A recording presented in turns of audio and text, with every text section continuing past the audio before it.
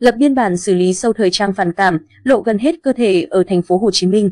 Sở Văn hóa và Thể thao thành phố Hồ Chí Minh thông tin về việc xử lý đơn vị tổ chức sâu thời trang của nhà thiết kế tường danh.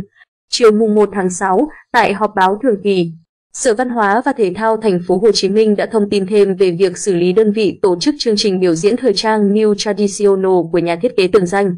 Sở Văn hóa và Thể thao thành phố Hồ Chí Minh cho biết đã xác minh đơn vị vi phạm là công ty trách nhiệm hữu hạn Oxford có trụ sở 73 đường số 4, phường Thảo Điền, thành phố Thủ Đức. Sở Văn hóa và Thể thao thành phố Hồ Chí Minh đã phối hợp với các cơ quan quản lý để xử lý vụ việc. Theo đó, thành phố Thủ Đức đã lập biên bản vi phạm hành chính.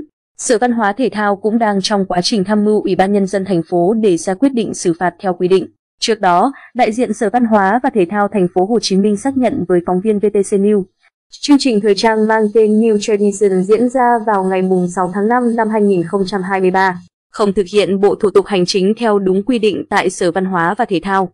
Như VTC News đưa tin trước đó, chương trình thời trang New Tradition, tạm dịch, truyền thống mới của nhà thiết kế tường danh làm giấy lên luồng dư luận trái chiều với hình ảnh người mẫu đội nón quai thao, mặc áo yếm cách điệu, để lộ phần lưng và vòng ba.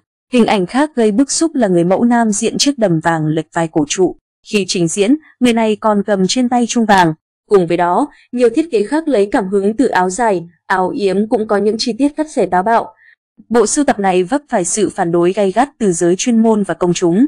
Đa số các ý kiến cho rằng bộ sưu tập mang đến hình ảnh phản cảm, không phù hợp với các giá trị thuần phong mỹ tục. Họa sĩ, nhà nghiên cứu áo dài Nguyễn Đức Bình chia sẻ, người làm bộ trang phục này chưa hiểu truyền thống, bản sắc văn hóa.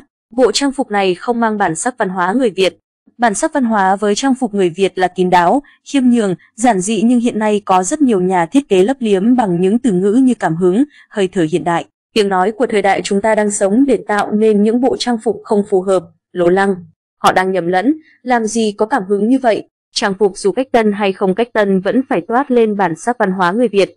Ông Nguyễn Đức Bình chia sẻ thêm, nếu những bộ trang phục này được biểu diễn trong không gian kín đáo, phạm vi nhỏ, không ảnh hưởng đến đại chúng thì giới thiệu là việc của nhà thiết kế.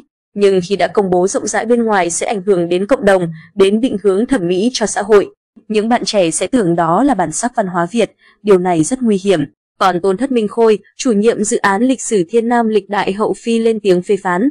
Từ khi nào chiếc nón quai thao truyền thống lại bị gắn ghép vào những bờ mông để trần kịch cỡm, dùng tục đến như thế này? Không thể tin vào mắt những hình ảnh này. Từ khi nào hình ảnh chư tăng khất thực vốn là một hình ảnh cực kỳ thiêng liêng, gợi nhắc về tăng đoàn nguyên thủy, lại bị bóp méo lố bịch kinh khủng thế này trên sàn diễn thời trang. Tất cả đến từ một thương hiệu mạo xưng trang phục truyền thống Việt Nam, sự bức xúc lên đến tận cùng. Đừng, đừng bao giờ vin vào cớ cách tân, sáng tạo để cưỡng bức, bức tử văn hóa truyền thống một cách man dợ đến như thế này. Tôi kịch liệt lên án và phản đối bộ sưu tập và thương hiệu này.